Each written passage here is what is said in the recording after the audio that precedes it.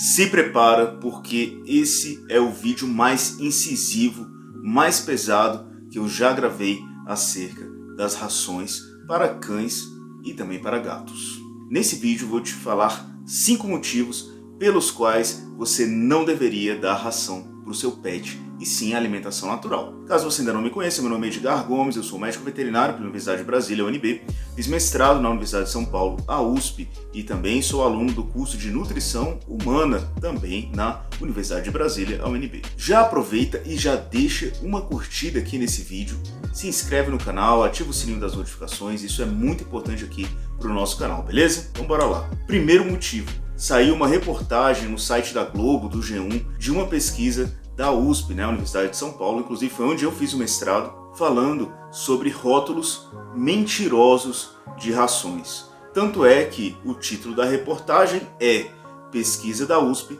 desmente rótulos de rações e mostra composições prejudiciais à saúde. Se está desmentindo é porque o rótulo tinha mentira. Eu acho que vale a pena você assistir essa reportagem para ver que boa parte das rações que você dá para o seu cachorro e acha que está dando carne para ele comer ali na ração, na verdade é um monte de milho.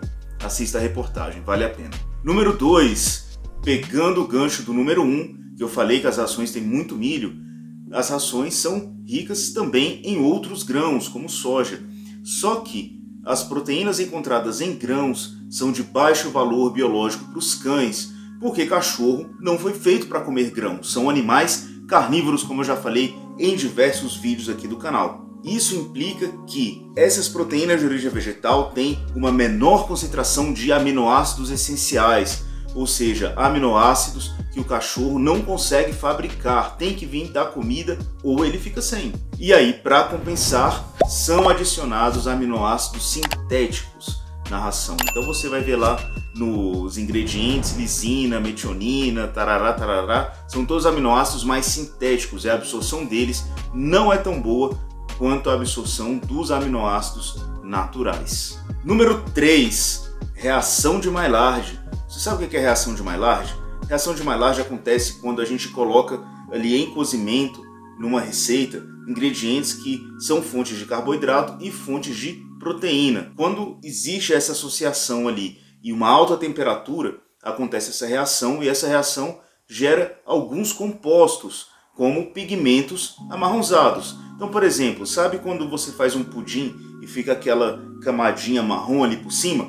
Aquilo se deve à formação de pigmentos marrons e essa formação se dá pela reação de Maillard, uma reação muito conhecida na nutrição humana. Pessoal, eu trago conteúdo diferenciado para vocês aqui. Como eu faço nutrição humana, eu aprendo muito mais do que a maioria dos veterinários aprende sobre nutrição. Então eu estou sempre complementando aqui. Vale a pena você se inscrever aqui no canal, se ainda não se inscreveu, e já deixar curtida nesse vídeo. Eu já pedi, mas né, vai que você esqueceu. Bom, voltando à reação de Maillard. A reação de Maillard não gera apenas pigmentos marrons. Falando em marrom, é justamente por conta da reação de Maillard que as rações são marrons. Já parou para pensar nisso? Por que, que a ração é marrom e não é verde, não é amarela, não é outra cor? Justamente pela reação de Maillard. O problema é que quando a reação de Maillard acontece, existe ali uma mistura molecular, digamos assim, uma interação molecular entre carboidratos e proteínas, e isso destrói aminoácidos. Lembra que as rações já são ricas em grãos e têm uma menor quantidade de aminoácidos essenciais naturais os aminoácidos naturais são destruídos pela reação de Maillard para piorar tudo. E aí há necessidade de adicionar mais aminoácidos sintéticos, que não são a melhor opção de aminoácidos para o seu cachorro. Aminoácidos naturais são a melhor escolha. E você encontra diversos deles quando você dá alimentação natural para cães. Ainda quero trazer dois artigos científicos. O primeiro deles está em português e é da nutrição humana, mas se aplica completamente aos cães também, a nutrição dos cães. O nome do artigo é Produtos da reação de Maillard em alimentos, implicações para a saúde. E o segundo artigo, ligados a rações, artigos científicos, pessoal. Ele está em inglês, o título dele quer dizer A reação de Maillard e o processamento de alimentos PET, efeitos nos valores nutricionais e na saúde dos pets, efeitos negativos. O artigo que eu falei também, que está em português, fala sobre efeitos deletérios da reação de Maillard. Quando a gente está falando em reação de Maillard, tudo isso que eu falei envolve perda nutricional do alimento, porque eu estou destruindo proteína natural, estou destruindo aminoácido natural para criar pigmento marrom. Só que não cria apenas pigmentos marrons, como a gente vai ver. O problema número 4 das rações.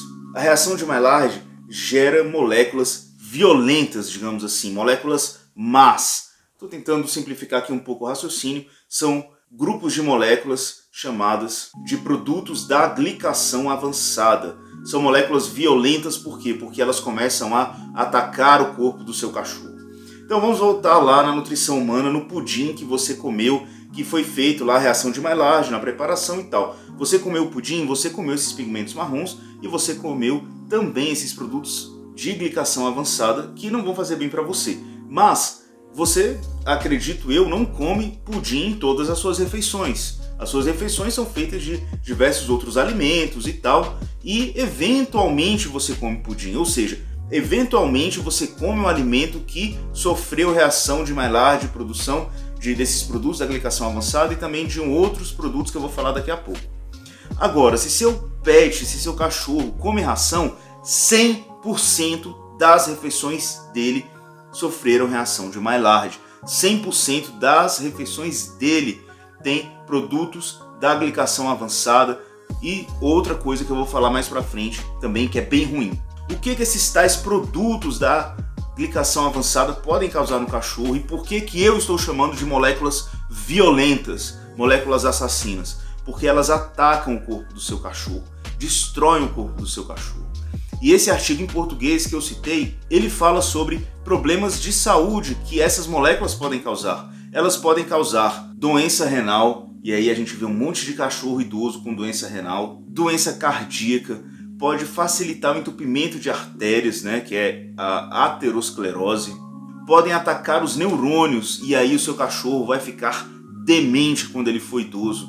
Por quê? Porque comeu produtos da glicação avançada a vida toda e você ainda achou que estava fazendo bem para ele, dando esses alimentos aí que sofreram reação de Maillard.